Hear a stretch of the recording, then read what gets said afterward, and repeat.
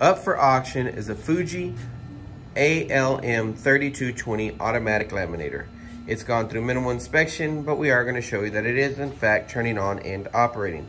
For any future items, please click on that subscribe and bell on the bottom right hand corner.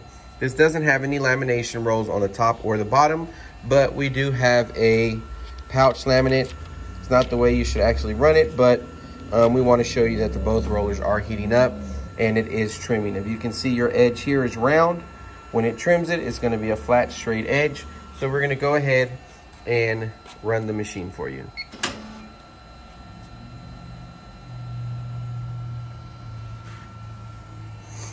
Again, it may come out a little creased, you know, but we just at least want to show you that the rollers are heating up. You can actually hear the cutter there.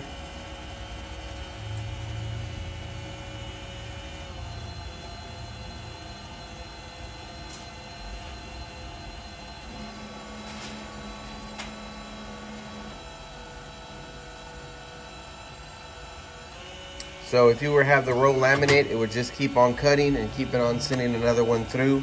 But you can see that it is laminating and we'll look at that back edge so you can see that it did in fact trim it as well. So you can see there, that's a straight edge where it did actually cut it. This is how it would look. You can see that it did trim that back side there. So again, up for auction is a Fuji ALM 3220 automatic laminator.